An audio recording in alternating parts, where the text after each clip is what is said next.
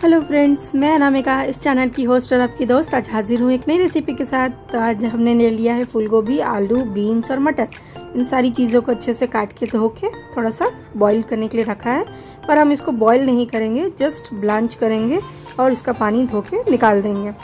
उसके बाद मैं आपको बताती हूँ, इसको पहले हम पानी से छान लेते हैं। उसके बाद मैंने उसको ठंडे पानी से धो भी लिया था। उसके बाद हमने एक फ्रेश कढ़ाई में थोड़ा सा सरसों का तेल डाला है। अब इन सारी चीज़ों को हम एक के बाद एक फ्राई करेंगे। पहले मैंने फूल गोभी को ड्रॉप कर दिया। ये थोड़ा रेडिश हो जाए। उसके बाद हम दूसरी वेजीज डालेंगे।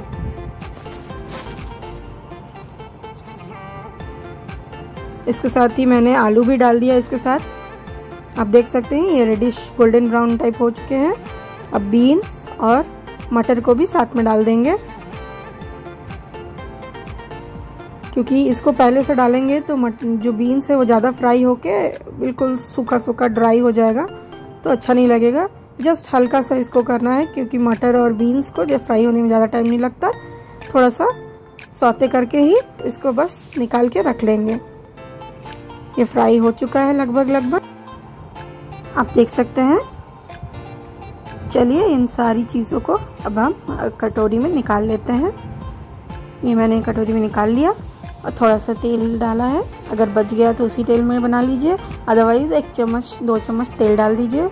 उसमें हींग डाला है, थोड़ा सा साबुत जीरा डाला है और यह है प्याज बारीक कटा हुआ।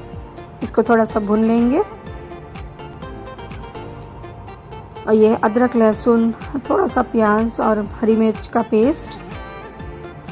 इन सारी चीज़ों को मिला के अच्छे से फ्राई कर लेते हैं थोड़ा देर, एक से दो मिनट। उसके बाद इसमें हम टमाटर डालेंगे।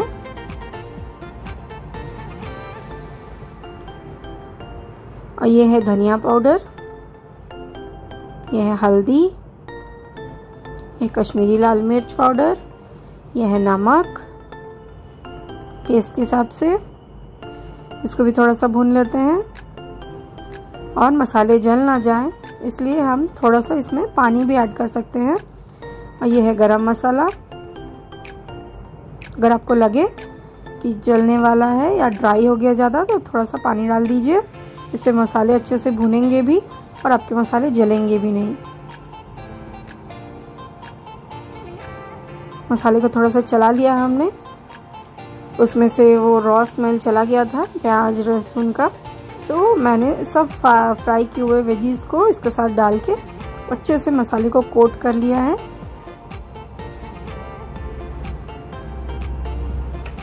गैस का फ्लेम कम कर देते हैं। थोड़ा सा इसी में ऐसे ही चलाते रहें। और अब इसमें हम पानी डाल देंगे। थोड़ा सा गर्म पानी ऐड कीजिएगा। टेस्ट बहुत अच्छा आएगा।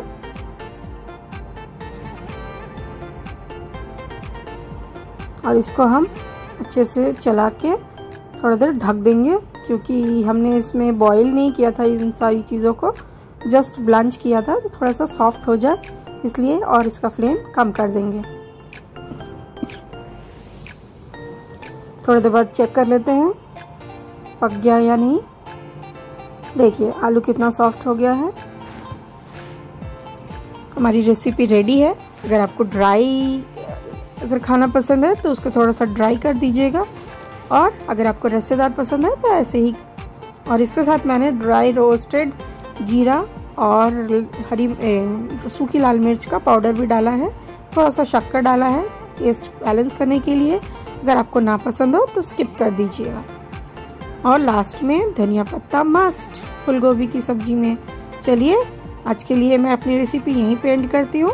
अगर आपको थोड़ी सी भी मेरी रेसिपी पसंद आई हो तो मुझे लाइक शेयर सब्सक्राइब ज़रूर कर दीजिएगा। और मेरे चैनल को हमेशा ऐसे ही यूँ ही सपोर्ट करते रहिए। आशा करती हूँ आप सभी अच्छे होंगे। चलिए, ये है फाइनल डिश आज के लिए बाय बाय टेक केयर